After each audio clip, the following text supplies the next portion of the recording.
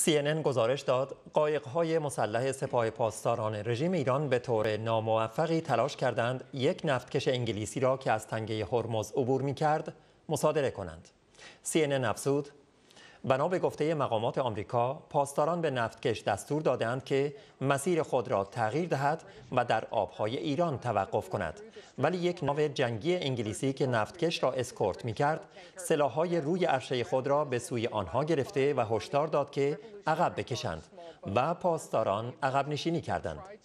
CNN گفت مقامات آمریکا گفتند یک هواپیمای آمریکایی که بر فراز آنها پرواز می کرده از این حادثه فیلم گرفته است. ولی تاکنون فیلم آن منتشر نشده است.